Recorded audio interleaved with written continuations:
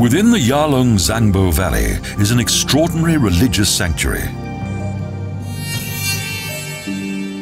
Samye Gonba, the oldest monastery in Tibet, is one of the most important historic landmarks in Yarlung's Valley of Kings.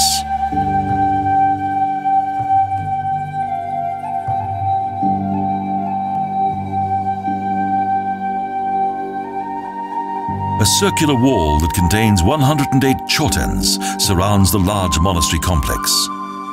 The entrances to the sanctuary were once positioned in all four directions of the compass.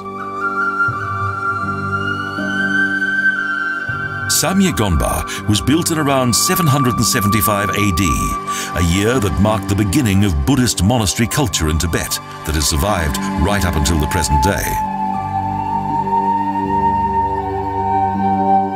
The time when the monastery was founded, the country was anything but peaceful. Hostilities between Buddhists and the followers of Tibet's Bon religion were frequent.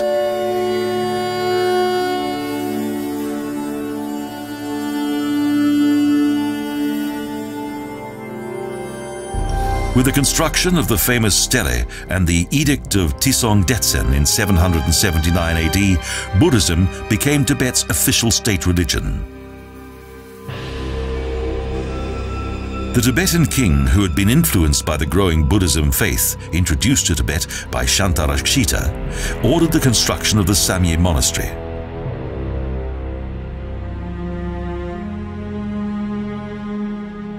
Following a detailed examination of the geometrical location of the construction site, work on the monastery began. Its architecture was based upon Buddhist principles.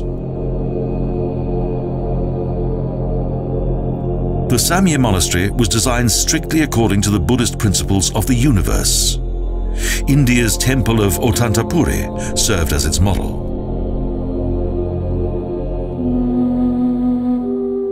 The main temple in the center of the monastery symbolizes the mystical Mount Meru that is surrounded by four temples, each located in one of the four directions of the compass.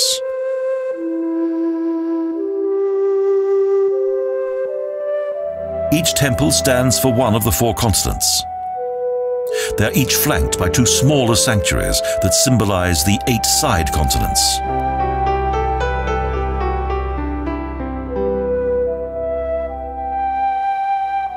The Tibetan king wanted to create a brand new location of religious power and influence.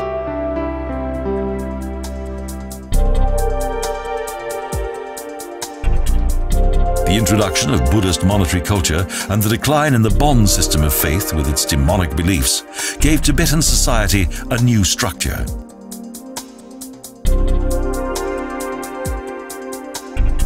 The architecture of Samye reflected this new influence as the monastery was a gigantic diagram of the Buddhist cosmos.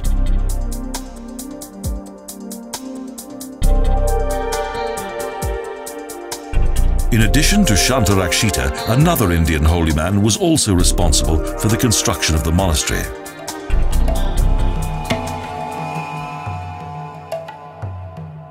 According to legend, Padmasambhava possessed magical abilities.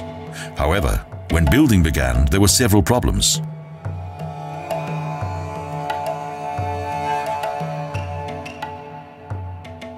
It was said that Bon demons were attempting to hinder construction of the monastery. But Padmasambhava managed to overpower them.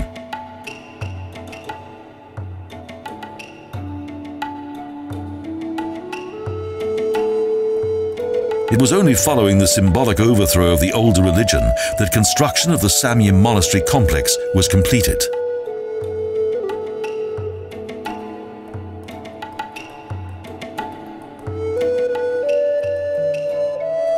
The oldest monastery complex in Tibet also reflects the country's dramatic history. It was frequently threatened by war and natural disasters such as devastating earthquakes and fires.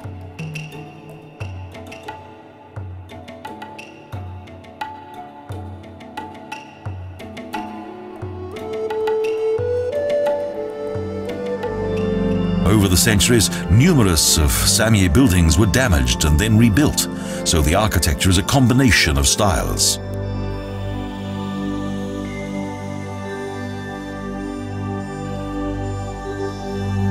Tibetan, Chinese and Indian laborers assisted in the artistic decoration of the monastery's main temple.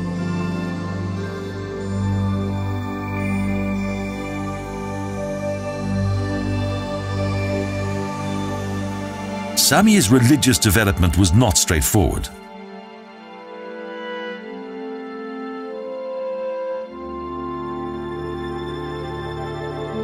It formed part of the Nyingmapa Academy until the 11th century. Then it was taken over by the Kadampa.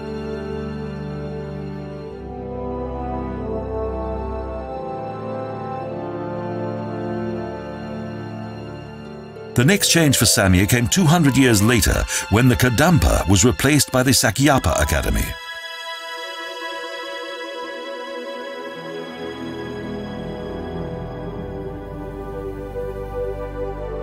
Under the rule of the fifth Dalai Lama, it became the Gelugpa Academy. Today, it belongs once again to the Nyingmapa order. Samye's most striking building is without doubt its main temple.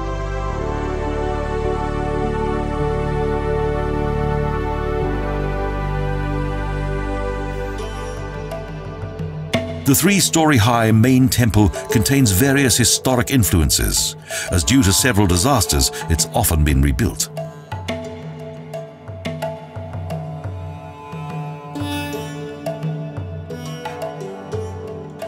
Traditional prayer mills are not only located around the complex, but also in Samye's main temple.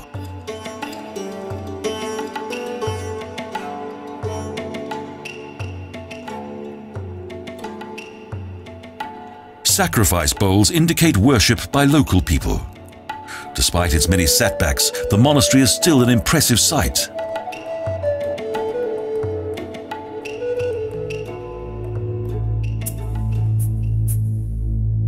The annexation of Tibet by China in 1959 and the Cultural Revolution that followed caused the largest amount of destruction in the monastery's history.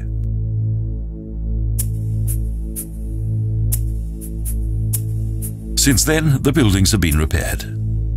So today, the rooms within the main sanctuary have regained their unique, mystic atmosphere.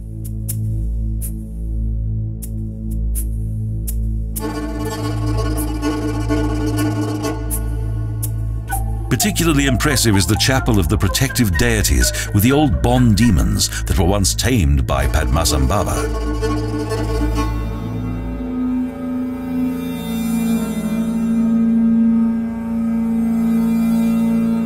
The unique beauty of Samye's main temple is underlined by fine decorations and the use of precious materials within its walls.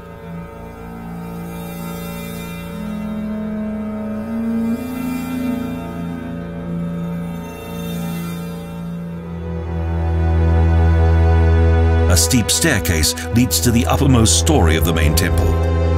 At its center is an important image and several columns.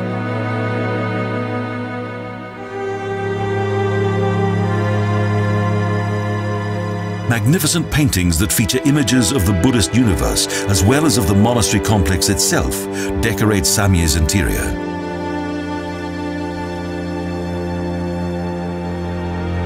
Despite its great age and dramatic history, Samye, as an image of the universe, is still one of the most beautiful and unique religious sanctuaries in Tibet.